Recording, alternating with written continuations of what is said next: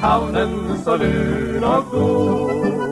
En på er et sund, er fått ankre i bunn, og i båten er bare to. Men solen får brune i fjeset, kan de høre på primusens prese. Vi skal ha fest i kveld fordi de kjøpt seg makrell i dag på Jonasens brygge. Og den var fin og fen, og de har ny potet. Det er det beste de begge vet. De vet at alt er sommer og hegge når det skal festes ved Jonasens brygge.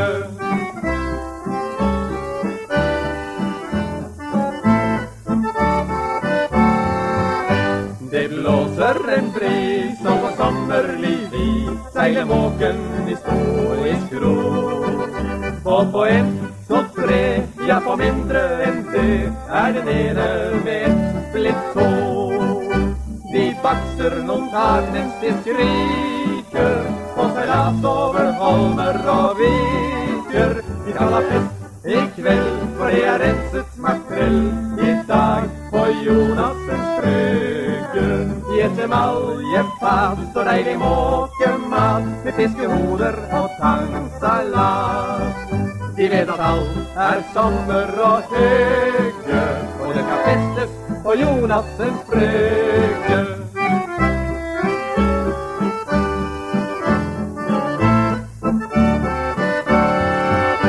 Det blåser en bris, og på sommerlig i ligger havnen så lun og god.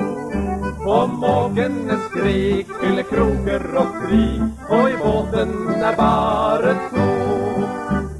makrell, det er sol, det er sommer. Ingen tenker på vinteren som kommer. Nei, det er fest i kveld, for det er vasket makrell i dag på Jonasens brygge. Ja, både folk og fe og måkeflokken med i nyte sommerens gransefé. Men bare én går glipp av alt hygge. Det er makrellen på Jonassens brygge.